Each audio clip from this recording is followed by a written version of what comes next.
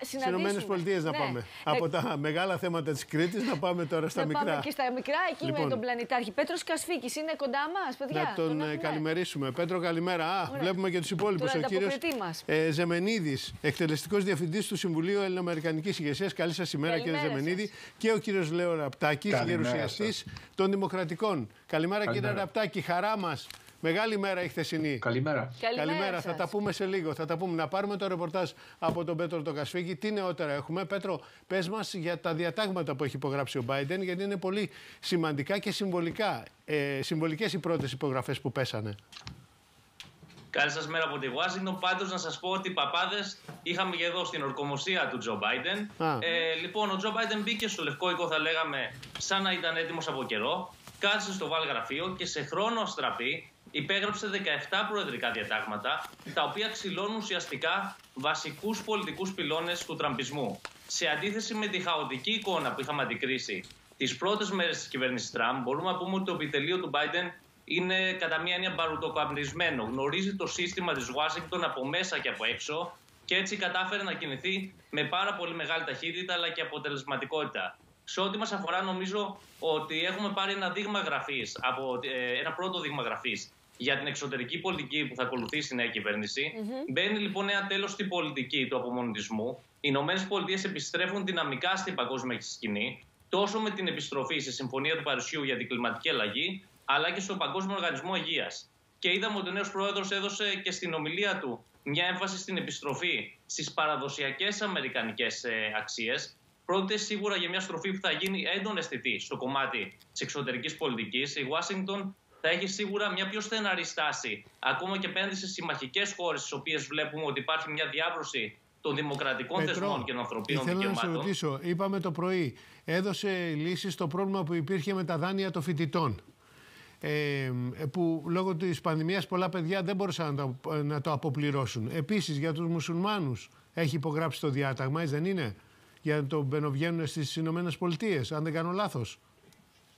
Πολύ, πολύ σωστά και δεν είναι τυχαίο, τυχαίο ότι γίνανε αυτές οι κινήσεις την πρώτη μέρα. Θέλει να στείλει και ένα συμβολικό μήνυμα ενάντια, αν θέλετε, στον ε, τραμπισμό. Γιατί ούτως ή άλλως αυτή τη στιγμή υπάρχει απαγόρευση, ε, ταξιδιωτική απαγόρευση. Δεν μπορεί κάποιος που δεν είναι Αμερικανός πολίτης να εισέλθει στη χώρα. Οπότε δεν υπήρχε κάποια πρακτική ανάγκη να άρει τόσο άμεσα την απαγόρευση, αλλά ήθελε να στείλει ένα μήνυμα. Τώρα και για τους φοιτητές, να σας πω παραδείγματος χάρη ότι τα φοιτητικά δάνεια ε, είναι το μεγαλύτερο είδος χρέου που έχει ένα νοικοκυριό στι ε, ΗΠΑ. Είναι το, μένο, το μόνο είδος ε, χρέου που δεν μπορεί να υπάρχει πτώχευση. Ακολουθεί ΣΑΗ ε, κάποιον και φυσικά με όλη αυτή την οικονομική συγκυρία ε, η Αμερική πλησιάζει τους μισό εκατομμύριο νεκρούς, δεν πρέπει να το ξεχνάμε. Ε, έχει, έχει βρεθεί πολλοί κόσμος σε πάρα πολύ δύσκολη κατάσταση και ήθελε ακριβώς να ανακουφίσει. Έκανε και υποχρεωτική τη χρήση της μάσκας. Εκεί έπαιξε ρόλο και η Τζιλ Μπάιντεν, να πούμε, και η σύζυγός του για το, το θέμα των ε, φοιτητών, η οποία θα συνεχίσει κανονικά τη δουλειά της Πέτρο από ό,τι, από άκουγα. Είναι καθηγήτρια αγγλικών. Ναι, είναι το χαρακτηριστικό, αν θέλετε, του ζεύγου Biden. Θεωρούνται πάρα πολύ προσγειωμένοι και άνθρωποι της ε, διπλανής πόρτας. Ε, η σύζυγος, λοιπόν, ε, η πρώτη κυρία, ε, είπε ότι θα συνεχίσει κανονικά τη δουλειά της, γιατί με αυτόν ακριβώς τον τρόπο θεωρεί ότι τιμεί το, το επάγγελμα ε, του δασκάλου. Και μια άλλη, ένα άλλο σημαντικό διάταγμα που αναφέρατε ήταν και η χρήση μάσκας που θα γίνει υποχρεωτική σε όλα τα κτίρια της Ομοσπονδιακής Κυβέρνησης. Δεν μπορεί δυστυχώς, ε, λόγω του πολιτικού συστήματος, ο Τζο Μπάιντεν να το επιβάλλει στις πολιτείες, αλλά μπορεί να το επιβάλλει σε όλα τα κτίρια που ανήκουν στην Ομοσπονδία. Αλλάζει το κλίμα εκεί. Αλλάζει το κλίμα. Τώρα, ένα λεπτό, Πέτρο. Κύριε Ραπτάκη, να έρθουμε σε εσάς. Εμένα μου έκανε πολύ μεγάλη εντύπωση το γεγονός ότι στην ομιλία του πολλές φορές μίλησε να σταματήσει αυτός ο διχασμός, να έρθει η γιατριά, όπως είπε χαρακτηριστικά. Είναι μεγάλες οι πληγές που αφήνει πίσω του ο απερχόμενος, έτσι δεν είναι; Και τώρα είναι και μεγάλο το έργο και πολύ, μεγάλη, πολύ μεγάλο το βάρος που αναλαμβάνει τώρα ο Biden ο Biden πρέπει να έχει ε, πρώτα πρώτα έχουμε το θέμα μέσα στην Αμερική τον κορονοϊό και τα οικονομικά.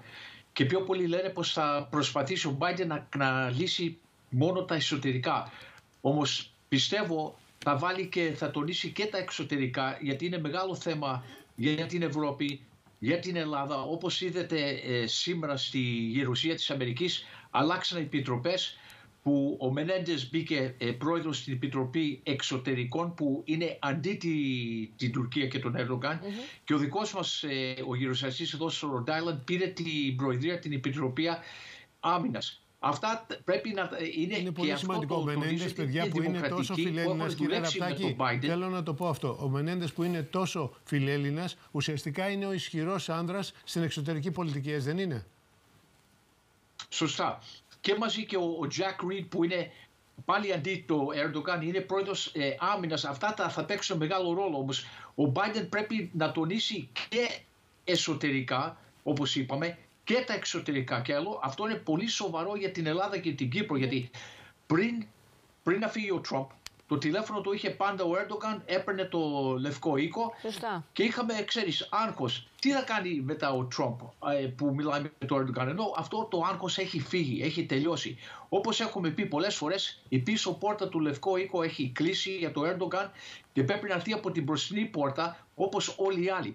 Και αυτό θα είναι πολύ σοβαρά αυτές τις μήνες τώρα που, που θα προχωρήσουμε όμως και εμείς Ελληνοαμερικανοί ε, εκλεγμένοι έχουμε 6 στο Κογκρέσιο, 12 στις ε, πολιτείες ε, γύρω σας όπως είμαι εγώ και άλλοι 29 βουλευτές σε 18 πολιτείες. Αυτό πρέπει να το τονίσουμε πάρα πολύ και με τους συνάδελφούς μας τα θέματα που, που υπάρχουν σήμερα στο Αιγαίο, στο Ανατολική ε, Μεσόγειο και τι κάνει ο Έρντογκαν από εδώ και, και όσο προχωράμε.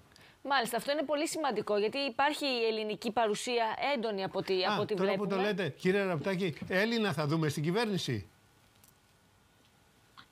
Ε, αυτό δεν το ξέρουμε ακόμα, όμως ε, ε, οι, οι ξένοι που δουλεύουμε εμείς μαζί τους κάθε μέρα θα το τονίσουμε αυτό. Δεν πιστεύω να χρειαστεί και Έλληνες μέσα την κυβέρνηση, όμως αν γίνει αυτό θα είναι καλύτερο και για μας. Αυτό, αυτό θα ήταν πολύ καλό, βέβαια. Πολύ σημαντικό. Θέλω να σας παρακαλέσω. να μείνετε μαζί ναι, μας. Αν μπορείτε, αν μπορείτε, αν έχετε χρόνο, να κάνουμε ένα σύντομο διαφημιστικό διάλειμμα και να επιστρέψουμε. Κύριε να Ζεμενίδη, τον κύριο Ζεμενίδη. Ε, σε λίγο θα έρθουμε και σε εσάς. Να σας παρακαλέσω να κάνουμε ένα σύντομο γιατί πιεζόμαστε ε, πάρα πολύ. Λοιπόν, να χαιρετήσουμε τον Πέτρο Κασφίκη. Ευχαριστούμε πάρα πολύ, Πέτρο, για το ρεπορτάζ. Και επιστρέφοντας, να ρωτήσουμε τον κύριο Ζεμενίδη αν έχουμε ξεμπλέξει από τον Τραμπ ή αν έχουμε ακόμα δρόμο, αν δηλαδή θα τον, θα τον δούμε ε, καλά, μπροστά μα. Ο Τραμπ νομίζω ότι τελείωσε, αλλά ο τραμπισμός μένει. Ε, κάτσε να δούμε, κάτσε να δούμε. Λοιπόν, και στη συνέχεια θα είναι μαζί μας και ο Δημήτρης Χόνδρος και ο Βαγγέλης Μωησής να δούμε και τα άλλα θέματα της επικαιρότητας. Εδώ είμαστε, επιστρέψαμε 6 και 32 πρώτα λεπτά. Με την Αμερική ασχολούμαστε πρωί-πρωί, γιατί εχθές κυριάρχησε σε όλα τα ξένα δίκτυα. Ελευθερία Νταβατζή θα μας μεταφέρει ωραίες εικόνες τώρα. Όλες τις λεπτομέρειες πίσω από την ορκομοσία Biden. Καλημέρα, Ελευθερία. Είμαστε πάντα συνδεδεμένοι.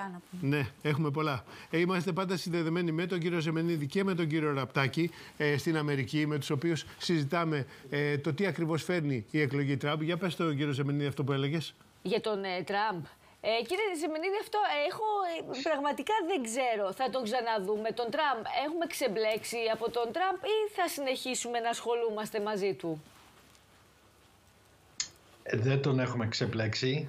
Ε, ε, γιατί και δυστυχώς πάει, και πάει Φλόριδα και, και δυστυχώς η Φλόριδα που είναι και υπερ ε, σημαντική πολιτεία έχει γίνει και μια βάση του Τραμπ αφού είδαμε όλοι οι βουλευτές οι Ρεπουμπλικάνοι από τη Φλόριδα και ο ένας ο γερουσιαστής ο Ρικ Σκάτ τον υποστηρίξανε και μετά από τη βία που είδαμε 6 του Γενάρη ήταν και μια πολιτεία που και οι, οι Κουβανέζοι και οι, και, και οι Ισπανόφωνοι Βενεζουέλας ε, καταγωγής από Βενεζουέλα υποστηρίξανε το Τραμπ, ήταν εναντίον, δεν, δεν του το ξεχνάγανε, δεν του το δίνανε του Biden ότι ο Ομπάμα υποστήριξε τον Κάστρο.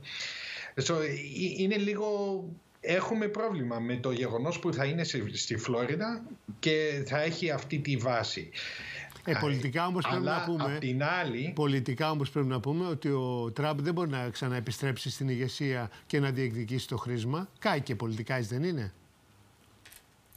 Ε, εγώ πιστεύω, αλλά όταν βλέπεις τις δημοσκοπήσεις και πόσοι στο Ρεπουμπλικάνικο κόμμα ακόμα τον υποστηρίζουν, ακόμα πιστεύουν ότι του κλέψανε την εκλογή, ε, έχουμε, δεν μπορώ να σας το εξηγήσω λογικά γιατί αυτά που βλέπουμε δεν είναι λογικά. Δεν Έχουμε είναι ξεπεράσει λογικά. πολλά όρια. Είναι, είναι και, ακόμα δημοφιλής αυτό. Και, και, και, να σκεφτείτε ότι το μόνο, να σκεφτείτε ένα γεγονός ότι από τη στιγμή που έχασε την εκλογή ακόμα μάζεψε 250 εκατομμύρια δολάρια να συνεχίσει τις ανοησίες του. Mm-hmm. so, δεν μπορούμε να πούμε έφυγε και φυσικά υπάρχει και το ρεπορτάζ που είδαμε προχτές στο Wall Street Journal ότι μπορεί να έχει και σκοπό να κάνει και τρίτο κόμμα δικό του. Και αυτό θα επηρεάσει κάπως το, το σύστημα. Τώρα ε, ναι, ότι ο συζητήσαμε, ε, συζητήσαμε για το, για το διχασμο δεν υπάρχει μόνο μεταξύ Δημοκράτες και Ρεπουμπλικάνους εγώ πιστεύω ότι θα υπάρξει και μπορεί να υπάρξει και ένας εμφύλιος μέσα στο ίδιο το Ρεπουμπλικάνικο κόμμα. Το βλέπουμε στη Βουλή που ε, βλέπετε κάποιους πιο, πιο ακραίους θέλουν να διώξουν και την κόρη του, του πρώην αντιπρόεδρου Τσέινι που είναι τρίτη στο κόμμα στη Βουλή επειδή πήγε εναντίον του Τραμπ. So θα, έχουμε, θα έχουμε μεγάλο δράμα ε, και με την υπόθεση Τραμπ. Και ένα άλλο πριν ξεχάσω επειδή το, ε, το αναφέρατε έχουμε ε, κάποιον Ελληνοαμερικάνο μέσα στην κυβέρνηση yeah. ήδη. Η κυβερνητικός εκπρόσωπος, η Τζέμ Ψάκη, είναι ελληνικής ναι, καταγωγής. Σωστό, σωστό. Έχετε δίκιο, έχετε δίκιο. Κύριε Ραπτάκη, τώρα εσάς το βάρος πέφτει στο να ενώσετε την Αμερική. Τι πιστεύετε ότι μπορεί να γίνει από εδώ και πέρα για να κλείσουν αυτές οι πληγές; Κοίτα, ο Τζο Μπάιντεν έχει 36 χρόνια σαν γυροσαστή και 8 χρόνια σαν αντιπρόεδρος της Αμερικής. Εκείνος ξέρει πώς μπορεί να κάνει συμφωνία και αυτό θα είναι μεγάλο θέμα. Ε, πιστεύω και οι Ρεπουμπλικάνοι, ο, ο αρχηγός του Ρεπουμπλικάνικου ε, πρόεδρος στην Γερουσία πριν να αλλάξουν σήμερα ξέρει πώς να δουλέψει με τον Biden. So, θα είναι δύσκολο από την αρχή, όμως εγώ νομίζω σιγά σιγά, όπως είπε, ε, είπε ο κύριος Ζεμενίδης, πως θα το ξεχάσουν σιγά σιγά νομίζω το Trump. Ε, γιατί έχει πέσει και χθες νομίζω 29% το τελευταίο poll που τον υποστηρίξανε. Αυτό έχει πέσει σύντομα όμως.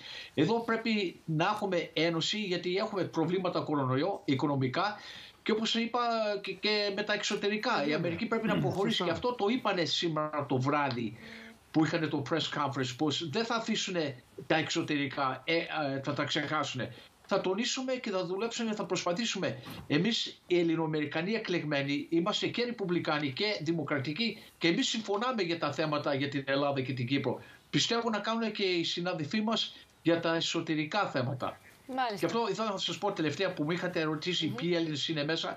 Του Rhode η κυβερνήτησα, η Gina Romando, ε, θα γίνει ε, υπουργός εμπορική, ε, ο Υπουργός Εμπορίας ήταν ο Wilbur Ross που έχει έρθει στην Ελλάδα πολλές φορές. Υπουργός Εμπορίου θα γίνει για τις ελληνοαμερικανικές σχέσεις ε, και γενικώς για τις σχέσεις εμπορίου της Αμερικής με όλο τον κόσμο. Δεν είναι ένα κρίσιμο πόστο. Ναι, σωστά. Και είναι η κυβερνήτηση από το Ροντάλ, την πολιτεία τη δικιά μου. Έχουμε δίπλα το τηλέφωνο και μπορούμε να τις βεβαιώσουμε να του τα πούμε τι γίνεται ακριβώς ε, στην Ελλάδα. Με χαρά να τη φιλοξενήσουμε και στην εκπομπή την Ελληνίδα.